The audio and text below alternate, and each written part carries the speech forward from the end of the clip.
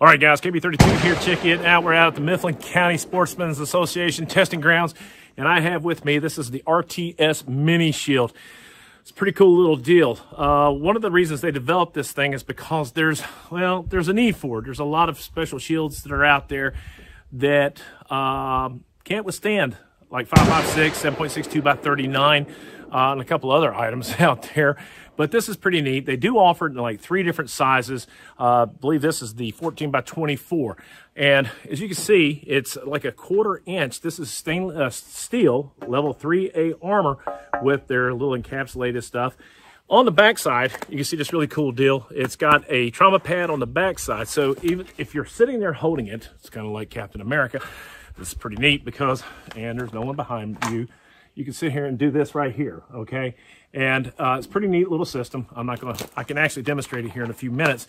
But what we wanna do is show you that it has a beautiful carry handle that's wrapped with a really cool vinyl, the trauma pad here, and a quick release strap system, which is really neat. Uh, again, like I said, I'm gonna put the details down below, but they've got a really cool little deal here. $3.99, I think, is what the uh, the starting cost of it is. But in comparison with other shields, that are $1,200 and change, yeah, this is a pretty neat deal. So what we're going to do is we're going to kind of do a little quick demo showing you how fun it is to shoot a firearm with it. Uh, and you can strap it to your arm. It's agile. You can do a bunch of things. The idea is to cover the vitals, okay? Um, I think somebody's going to shoot you in the nuts.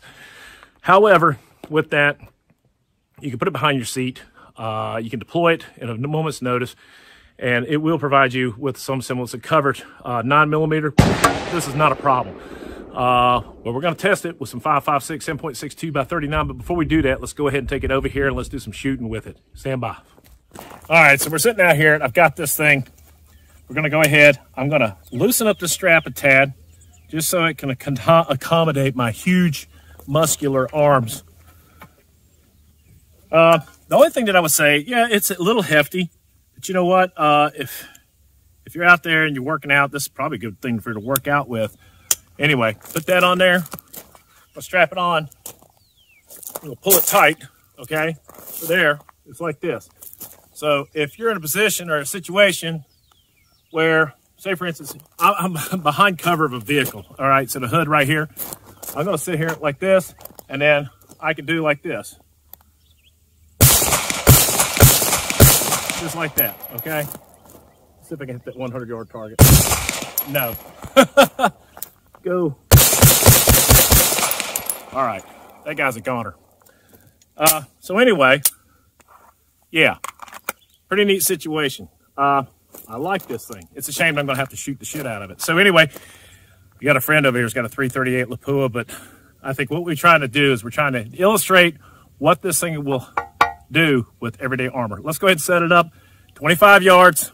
Going to shoot it with 5.56, uh, 8.55, and then 109. And then we'll do it with, uh, I got some Tiger uh, 7.62 by 39. Here we go. Stand by. All right, so here we go, guys. I've got the uh, Tiger 7.62 by 39 in a 20 round magazine per the request of the guys at YouTube. So for those who are reviewing this channel, please note that this is 20 round mag. This is a new PSA K. This is the Gen 3. Uh, I've only put a couple rounds to this guy. This guy is awesome. And it's got the beautiful, uh, what do you call it, knurled wood uh, and the meat grinder up here in the front. So I thought it'd be kind of cool to use this guy. Go ahead and put a mag in here. All right, do one round at this thing and we'll see what happens. Here we go.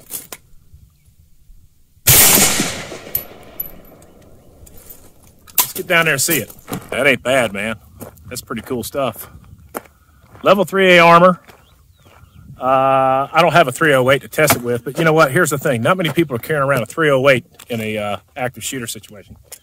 As you can see, little dent, uh, nothing on the backside. And uh, that's it. So what we'll do, let's go ahead and hit it with some uh, 109. That's going to be the tester because I've seen level 3 armor. Yeah, 55 grain will go right through it like Swiss cheese. So here we go. Let's test it out. All right, so now uh, this is a new rifle I've been working with. Now it has the old ACSS reticle in this Platinum series, but what we're going to be doing, I'm going to be zeroing it in and using that Vulcan on the side, as you can see on the Arisaka offset. And then, uh, we're going to have some fun. So this is 55 grain. And I just went ahead and uh, function test this guy, and it is so overgassed, but I don't care. Here we go. Let's go take a look at it. Man, it is a pretty firearm. Stand by. Man, that thing did good. We can see here, small dent, nothing major. Uh, you've got the, uh, the uh, what do you call that? The, uh, the pad on the back of it. What the hell do they call those things? anyway, uh, triage or not the triage. But anyway, not a bad deal. Uh, you're going to be holding it up like this. So the spall coming off of it uh, is hopefully not going to cut your neck in half. But other than that, here, let's do the uh, 855. Stand by. All right, so a little green tip action. I got a bunch of these for sale. Don't mess with me. I know what I got. All right, make sure all clear. All right, good deal.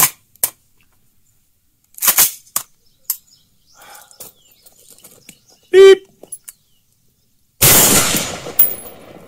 Let's get on there and take a look. Here we go. All right, guys, that's pretty much it, man. RTS Tactical. I'm going to put a link down below. Uh, like I said, this is the, I think, the 14 by 24. yeah, this the screws loosened up just a tad. Nothing, nothing major. Uh, but I like it. I'm going to go ahead and keep this thing. Uh, I'm not going to shoot it up any more than I have to, but uh, I'm going to put it behind the seat of my car. Just in the event you get something, run into somebody or something that wants to play games. But, uh, huh, pretty nice. KB32. If you like the video, please give it a thumbs up. Subscribe if you haven't already done so. Support the red, white, and blue. God bless America. God bless his men, women in uniform. 24-7 for our freedom. Freedom is not free. I like you. I'm going to take you home with me. Y'all be good.